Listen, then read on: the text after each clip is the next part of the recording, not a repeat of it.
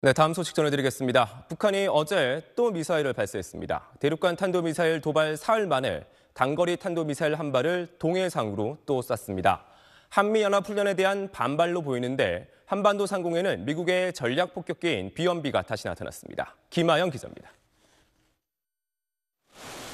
어제 오전 11시 5분쯤 북한이 평안북도 동창리 일대에서 쏘아올린 단거리 탄도미사일 한 발이 우리 군 당국에 포착됐습니다. 군의 탐지 결과 미사일은 800km를 비행한 뒤 동해상으로 떨어진 걸로 나타났습니다. 일본 방위성은 최고 고도를 50km로 파악했고 미사일이 하강하다 다시 상승하는 변칙 궤도로 비행했을 가능성이 있다고 설명했습니다.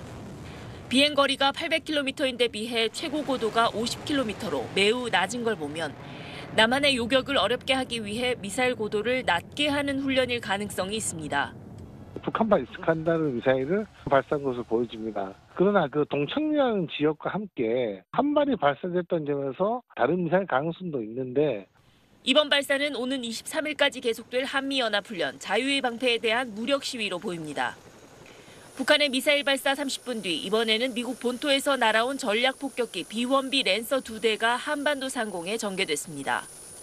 비원비가 한반도로 날아온 건 지난 3일 이후 16일 만으로 우리 군의 F-35A 스텔스 전투기, 미 공군의 F-16 전투기 등과 연합 공중훈련을 했습니다. 예정된 훈련이지만 도발 수위를 높이고 있는 북한에 대한 경고 메시지도 겸한 걸로 풀이됩니다.